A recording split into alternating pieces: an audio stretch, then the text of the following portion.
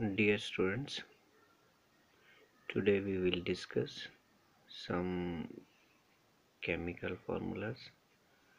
These are useful for all students.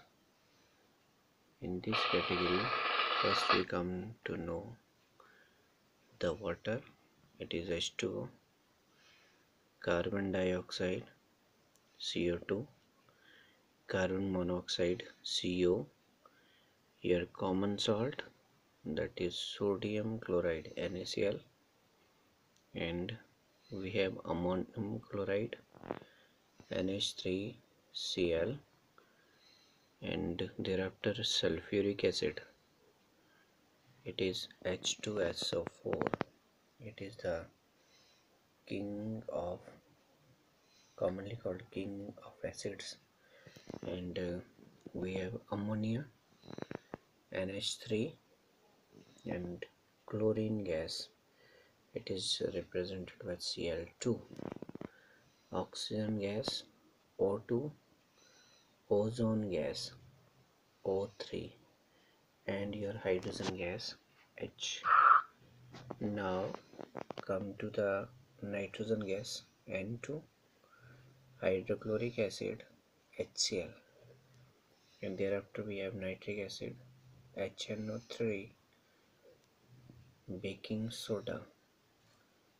It is sodium hydrogen carbonate or sodium bicarbonate. We pronounce it both way.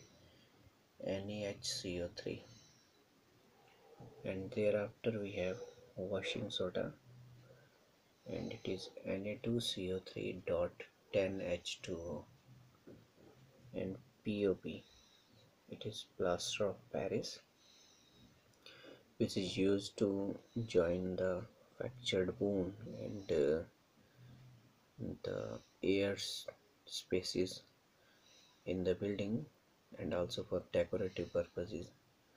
It is CaSO4 dot half H2 calcium sulfate hemihydrate. Then we have caustic soda. It's a common name of sodium hydroxide NaOH and uh, we have bleaching powder. It is CaOCl2 and thereafter we have lime water CaOH2 it is also called slacked lime.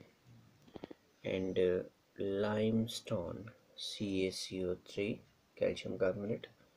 Then quicklime it is CaO that is a lime we used to decorate our houses.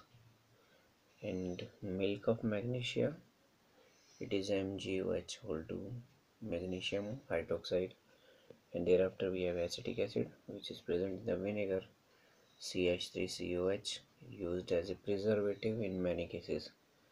Then methane simplest hydrocarbon CH4 thereafter we have blue vitriol it is CuSO4.5H2 oh thank you. Uh, it's all about in this video and have a nice time